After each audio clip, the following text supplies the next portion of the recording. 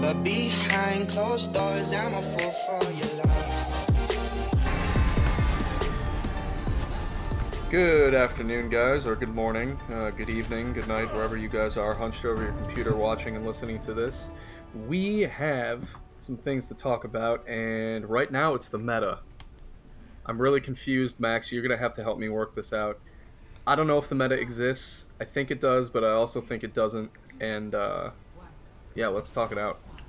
Yeah, no, this is something that I wanted to talk about for a long time, and I have been disappointing people my whole life. My first words were, you know, go Browns, so my life has kind of been a downward spiral from there, but it makes me especially sad. Really? That you hadn't, Torbjorn hadn't even been out yet, which is, you might need to, you know, see a copyright lawyer about that. But I've been on that downward spiral, and it makes me especially sad when I see things I love disappointing me, and that's why we need to talk to Blizzard because whatever is going on with the game right now, it's making me quite upset. Yeah, there's a there's a thing going on, and there's this cloud of meta-ness that is kind of hovering the existence of Overwatch, and I'm sure you guys um, know what I'm talking about. There's this stigma that you not only have to pick a character within the meta, but but that the meta kind of controls, the meta dictates how you play the game, not you dictate how the meta plays or what is what even is the meta. Um, and I think that's something that's becoming really important as Blizzard uh, keep making changes to all these characters. I think it's something that is uh, is changing, and we, we really got to talk about it. And I think the the problem may lie with the fact that Blizzard is like over changing their game. Like, I guess getting into this the start is we can easily talk about Soldier, who's now been buffed, and he's buffed maybe an understatement, but he's been buffed to the point where he's completely overpowered. And my really big issue with this is I don't know how they decided that he was going to be buffed. I mean, if you look at where he was in the meta before, or whatever it was, he was a solid DPS. Reaper, McCree, Pharah, they were all DPS characters that you could go and interchange them. They weren't, no, not one was too powerful. Reaper was good up close, Pharah was good when you needed some range, Soldier was a great just all-around DPS. He can run, he can heal. But now it's like, if you choose anyone but Soldier, it's totally screwed. And I don't know what caused that. I don't know if Blizzards were like, D.Va's not really effective enough, let's buff her. Oh, and now we need a DPS to counter her, so now let's super buff Soldier, but they don't like, they didn't focus on enough of the rest of it. Right, and I, I think there's a bit of a, um, a gap where Max and I are both console players, so we don't necessarily know how this affects PC directly, but I'm sure it's I'm sure it's like one and the same for the most part. Like uh, for instance, last night we were playing comp, and uh, our random went McCree when the other team had a D.Va, and we said like you know maybe go Soldier 76, and it was like why am I getting upset at this guy for playing McCree? Well, we, we need a soldier, right? Because he's in the meta. Um, but what if he's a better McCree than he is Soldier? Why am I yelling at him for not playing a character in the meta if, if it's not even someone he might be good with? Which, by the way, uh, if you're not good with Soldier, I don't, uh, I don't even know why. why, why. Um, anyway. no, and that's you know, completely... it, it goes back to that like, why are we? You know, games should be fun. We should want to play the characters we're good with. Why are we freaking out when a character's uh, picked when they're not necessarily quotes, uh, throwing some quote fingers in the air uh, in the meta. Yeah, and no, and I um. I think it's like a really, yeah, yeah, go ahead. No, I have a softer spot than I think you do when it comes to this, just for the fact that I am that Junkrat main that you'll see in a game. I am the guy who plays a lot of DPS. Yes, Junkrat, and he's my main. I am not ashamed of it. I used to be. I went to some therapy, but I am not ashamed anymore of it. I'm embracing well, it. the therapy didn't work because... Because I'm still a Junkrat main? I just have that soft spot where I know if I'm going to pick Junkrat, I know I have the skills with Junkrat to do just as much, you know, good to the game that I would as another character. I'm comfortable with him and I can do the damage I need to do. But it's just one of those things that I can't go into a game and play him knowing that my team will be like, oh yeah, that's fine, you can play a Junkrat, I believe in you. It's more of a, if I pick him, are they just going to throw the game and go Widow?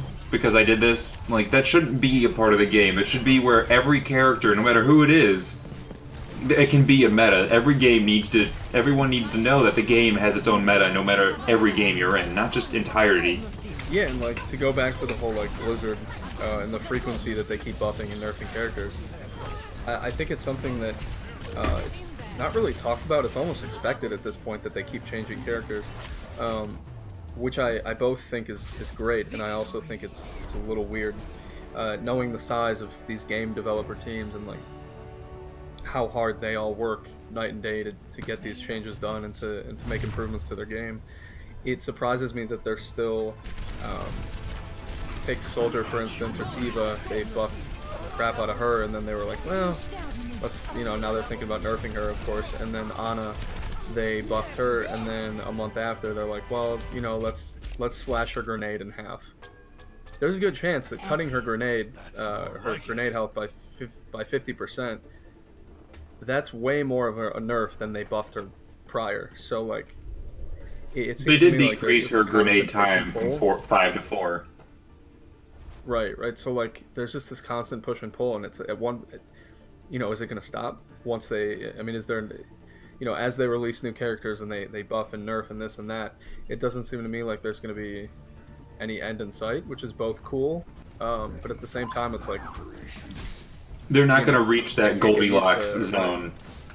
sorry, say say you get used to a character like um, someone who's really good with D.Va or Soldier or Ana, and then they they completely nerf them. That's going to have an effect on how those people play with their with themselves and their, their friend group, and how the meta itself, the, the cloud of meta, affects the game overall. So No, and it for me it brings into question more or less what the PTR is actually for. Now, you and I Yeah. can't play the PTR, and that sucks because I'd love to be able to play it and see the characters before and see like how many people play it. But every patch, No, it I- seems like I we have these problems. I technically can because I have a PC, uh, but my Surface. Um, Your don't know if there's Surface is no Surface book better than a cardboard. It's uh, no, no. It can run games. Um, it runs Borderlands like a champ, and then it can barely handle Rocket League, which is kind of weird. But um, yeah, back to what you're saying. But yeah, it's just like it's the PTR. Every patch we have these issues. McCree had those issues when he was patched. Um, now D.Va and Soldier. It's just like when you go into these patches and you do this, Symmetra's turret, the most overpowered thing in the world, or not her turret, her teleporter with 350 health, like you have all this stuff that's been in the PTR. I don't know who's playing it, if it's pros and that they're just they can kill anything and they have such a you know just teamwork that it doesn't matter that these players are overpowered. But like as soon as Yeah. the game and the updates come out, I was like, well, Soldier's clearly overpowered, and so is D.Va. How is this? How did this get past the PTR? How did she get a hundred more health and like an increase in her shield? And you know what's interesting to me is, is Blizzard. It seems they're spending so much time trying to protect D.Va, Soldier, and Ana specifically. Now Roadhog. Um, they're completely neglecting, at least publicly, the um, problems that are going on with uh, Torbjorn, Widow, Hanzo on console, at least. Um, I mean, Widow and Torb, Torb more so now a little bit um, strategically. Widow is, is barely used on console, and I'm wondering if that's just a console thing versus PC, where she's actually kind of useful, or um, I don't know. It's just interesting that they're spending so much time on like a few characters that are already, you know, they're overpowered because they they buff them. You know, and it's like, are you going to buff the characters that aren't used, or how's that going to work? You know, and that's really where the meta I think comes in is that there's a set of six characters or seven or eight characters that are just playing out better with their kits or better in this Right. the way that they're played, or they go with another character like Ana. Her kit has now become overpowered because of the way Roadhog is, and his hook right now, as it stands, is cheap and it's cheating and it's bull. And then Reinhardt, and then you know you have D.Va who's overpowered, and with this triple tank, Ana is now overpowered because of it, and they have to nerf her grenade to stop this triple tank meta to get this and to change it so you can actually play all these other characters. Like Blizzard wants to be able to you to play every character, but at the same time they're building the game so it's very one-sided. Right. I'd almost wish that Blizzard as a whole sat down and said, okay, let's stop making changes for a little while and let's focus all of our assets on the artistic or the, the new maps or the new characters. Let's add more content before we keep changing the content that we already have. Um, I know they probably have teams doing all that at once, and it's not, you know, obviously they're they're all working on every aspect of the game, but I don't know. That, they just seem like so hung up on trying to get things perfect, but in doing so, they create an imbalance when it's not even that imbalanced. I guess. No, and it's it's like going into the games now. I think they're just limiting their player base by doing it, and you know, you and I have both gotten to the point where some nights we'll be sitting. I don't know. I have. I'll be sitting in bed like, God, what do I do? You know, I could spend time with my girlfriend, but I, I don't want to do that. I could do some homework, but God knows, you know, that's even a worse option. Should I play mm-hmm. Overwatch? And I'm just like, do I really want to get on get frustrated with the fact that I can't play the characters I want to play? Or do I actually Or want to, like.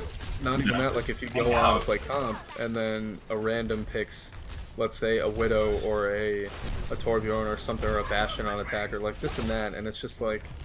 You, on one hand, you don't want to get mad at them for playing a character that they have that they think is fun because they bought the game and they should have fun.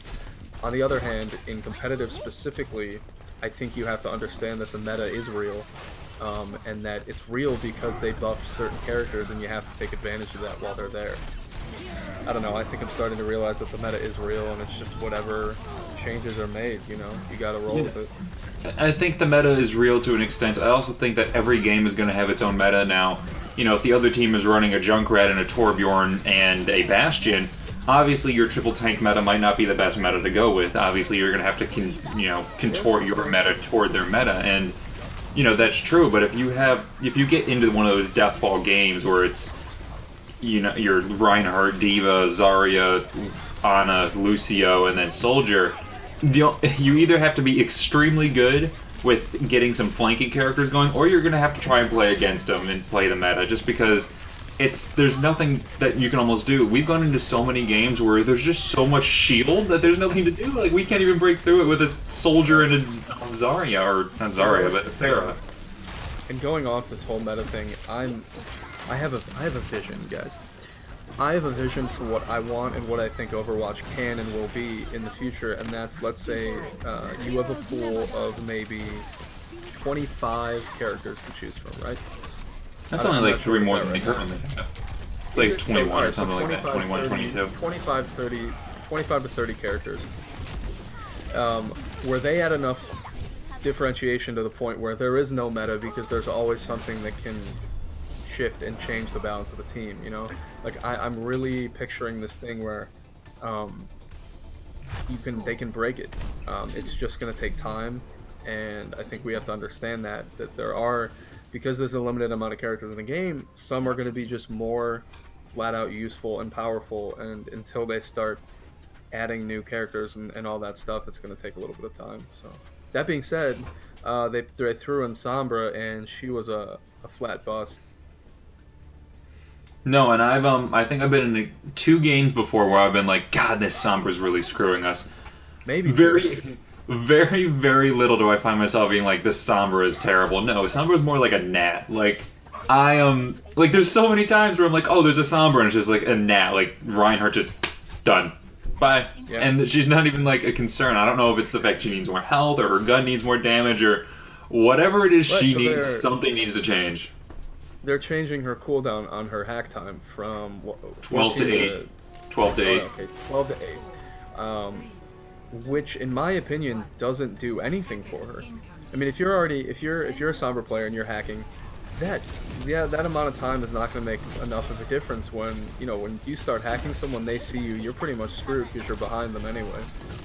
Um, I think it would have been much better served if they gave her more damage or uh, increased her bullet damage by like, God, 15% at the least, like at the most. I mean, I think that would make her exponentially more useful. I think the hack, the hack cooldown is just a way of saying like, yeah, we kind of screwed up, so like let's just change her a little bit by little bit, and it just goes back to that whole like, I don't know what they're trying to do. I mean, maybe they're going around or going around, like going at it a, a bad way. You know, maybe it's not looking at what characters are weak and then buffing them. Maybe look at the characters around them. I'm just trying to kind of think outside of the box of how to fix it, but you can go and buff D.Va, Soldier, and Ana back and forth, up and down, left and right, as much as you want. But I mean, they're just trying to get those players in line with the rest of the heroes. I mean, at the same time, maybe go at it and try to buff the characters that aren't the ones used. Go at Junkrat, go at Soldier, Hanzo, or not Soldier, go at Hanzo, Soldier. Torbjorn. Soldier doesn't need to be touched. Soldier can leave the game. No, he needs to be touched. You know, go at Winston. Give Winston some more damage or something. Go at these characters that have no use and make them more useful. Like you did that with Symmetra, and now she's actually used quite often. She's one of the more annoying characters now in the game. Yeah, she's great. I mean, maybe not. Don't you I know keep buffing the same they, uh, characters. Symmetra is a good example of a character that was not used and that they actually made. In my opinion, they nailed her. Uh, on the defensive end, she, she obviously still can't use her on the on offense, but um, I mean maybe on a payload map, maybe. Um, but uh, yeah, I think they if they do something along those lines to Widow and to to Torb and to um, you know Junkrat and Sombra, I think over time. Yeah, I mean, uh, again, like there's that disconnect with PC and console. I'm sure Hanzo's Yeah. Widow are great on uh, on PC, but it yeah. True. it's tough. I don't know. It's tough. They're in a No, tough hole because they they've showed their hand in a sense that we know that there's going to be updates coming. It's just a matter of what are they going to do, you know? No, and exactly, but I think Symmetra made her turret has weight or her teleporter has too much health. 350 or 400, 350 shield is Uh, absolutely 50 ridiculous. Yeah, yeah, 50 health and 350 shield, which is awesome. That's absolutely ridiculous. And she has double the health. That shield has double the health of like a player like Junkrat. And I know I've talked about this before, but having Junkrat have 200 health base is absolutely ridiculous. But with no ability to heal or anything, like Soldier, he has 200 health, but he has a thing that he can just place down and heals him 100%. But to give Symmetra, which her turrets are insane, and if you get trapped by four of those while you're trying to kill this teleporter, you're dead. I don't care who you are. Reinhardt, you're gonna die. But to give her that much health, it's insane. So Mei has 50 more health base than Junkrat, right?